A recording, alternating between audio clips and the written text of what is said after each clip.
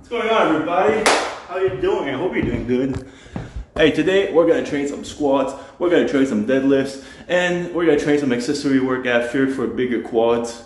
But I'm not gonna overdo it on the accessories because just squatting and deadlifting, these two movements are gonna drain my energy. So let's get to it. I'm gonna do some straightforward warm-ups, maybe two, three reps max to save my energy for these heavier working sets. Today, I'm working on power squats. I've had a nagging injury on my left thigh. I don't know, I did the hack squat machine uh, at the gym and I fucking, I went down on the hack squat and on my eighth rep, I felt like a pop, like a pop right here. Like it, I don't know, it's hard to explain honestly, you gotta feel it. and that shit hurt for like well, it's been two weeks now and I'm warming up and I don't feel any pain today. So let's get to it. Let's be grateful that we can fucking move pain free and get these reps in, get that volume in and get stronger and bigger. All right, so warming up here to my top working sets of the day. Um, for my warm ups, I like to keep it simple, like I said before, only a couple sets, a couple reps, sorry, per set.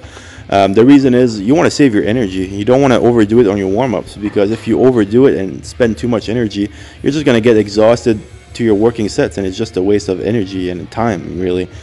Um, so, here, for example, I noticed when I look back at this clip right here, I noticed that it looked a little bit off and I noticed, oh shit, my feet are way too wide. So, I went for a more narrow stance and it's much better for me to activate my quads. And if I go more uh, wider, it just activates my hips and glutes more. And I, I don't really want that. I, if I do high bar, I want to really activate my quads as much as possible. So I go uh, to a more narrow stance, and it works better for me as well. So uh, it's important to just keep track of what you do and how you do it. So I'll recommend it again. Film yourself and improve. That was there. my first heavy set of squats in about two weeks feels heavy. I'm not gonna lie, feels fucking heavy compared to before. It felt a little bit easier before, but we rebuild. You know, you gotta rebuild sometimes because at the end of the day, a squat is a skill, and you gotta build up that skill. It's like any other movements, bench, squat, deadlift. It doesn't even matter if it's a fucking bicep curl. It's to a certain extent a skill that you gotta develop. You gotta get your nervous system used to it. You gotta get your body used to it and build some muscle around that and strength. So we build I notice a technique flaw that I, I, I do a lot. When I get tired on my last reps, I don't breathe in a whole lot. I don't brace enough. I, I I'm like, and then I breathe. I don't like take a deep, deep breath through my stomach and then brace that shit. You really gotta put a lot of fucking emphasis on that breathing plus bracing when you do these reps to have quality, stability, and power. I noticed that, and now next set, I'm gonna get four reps because I know, I know I can get it if I breathe and brace properly. It feels good to be back and back squatting again, pain free. My left squat was really firing up every single time I was doing legs, but this was the first session in two weeks that it was not. So my goal is to rebuild my squat stronger than it was before. Um, I'm gonna do that by squatting at least twice a week and practicing a bunch of pause squats. I notice for myself, every time I do lots of pause squats, it, it improves my technique and it improves my power as well. So uh, I'll do that and hopefully we can beat some PRs soon with the squat. I'm not gonna lie, I wanted three sets of four reps and I only managed to get one set of four and then the other two were three reps. But it's not that big of a deal. You rebuild, you know, it's shit happens. It's all good though. I got something else uh, set up now. We're gonna move on to some deadlifts. This is my setup. Let me show you. This is how I fucking set it up. Put the bar, put the mattresses there so I don't do any vibrations from my neighbors downstairs. And then I put all my shit on my couch, all my weights. So I don't have to run over in my fucking gym room and then bring all the weights there. I just bring them in one shot. They're right here. They're ready to load up and we can get the, the job done. Let's get to it. But first, I think this guy this little guy right here, he like he loves the Costco boxes. I don't know why, but he just loves boxes. So we'll we'll give him a little little ride. What's up, buddy? You want to go and let, let, me do some shoulder presses? Ugh. Yeah, he likes that. Yeah, yeah. He likes to go for a ride in his box. Hi, Leo. Hi, Leo. You like that? Yeah, you do. Oh, oh, shit. Oh, oh, oh, oh, ee. oh, watch out, watch out. Oh, shit, Leo. Oh, oh, ee. You gotta be careful, Leo. Oh, oh, oh fuck. Oh, what the fuck is going on?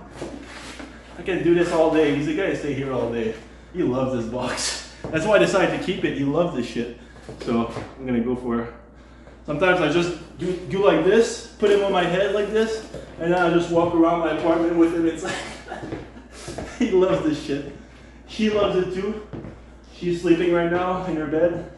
But sometimes they go in together, and they we, I just go for a walk with them, and I fucking bicep curl them and shit, and throw them around. Whoa, shit. Whoa, oh fuck. And he loves it. He just stays in there, you know. He loves this shit. Elio? Yeah, you do. so let's say I do squats and then I go for some deadlifts. Like right now, I take at least 10 minute break to recover, regain my energy, drink some juice for carbs, sugars, just overall energy, you know. And then I go. All right, moving on to some deadlifts. What I'm doing right there on my stomach, I'm just telling you, like, breathe in through your stomach and brace before every single rep. Super important. It's gonna protect your lower back as well. It's gonna make you stronger, and it's gonna help you get some better gains. Um, for my breathing for deadlifts, I I uh, never really talked about that, but when I go up right there and at the top of my deadlift, I breathe again through my stomach, going on the way down, so I'm ready to, for my next rep immediately. So it's kind of a different technique. Some people like to breathe in right before their reps, every single rep, but I like to breathe in at the top, like right there. I'm gonna breathe in through my stomach, going all the way down, and then I'm ready for my next rep right after. I don't know if that makes sense, but um, that's my way of uh, doing it. A lot of people do, do that, I noticed. Um, it's just a better technique for me to save energy, save time for my reps. And um, today for deadlifts, I did 505. This is 505 pounds for two sets of four reps. And um, it's been a while since I've done squats and deadlifts in the same session, but I'm going to keep doing that because it's definitely the top two movements to get stronger and bigger if you want to get some gains. Uh, I mean, if you can master your own technique for yourself, it's really going to help out. Here, doing some uh, step up lunges. My balance is the best, as you can see. It's so good. now that's why I'm doing some uh, unilateral movements again. I've uh, neglected doing lunges or step ups or, stuff like that the past like uh, months, honestly, and uh, my balance uh, shows. You know. So these really help out with balance, and it's gonna help with some bigger quads as well. I kept it simple, kept it in between 8 to 10 reps, did a couple of sets, and I was exhausted after this and decided to call it. But mainly what I think of, deep breath plus bracing before every single rep. And then I, I think of pushing through the middle of my foot and my glute from the leg that's working, from the side that's working. Very important.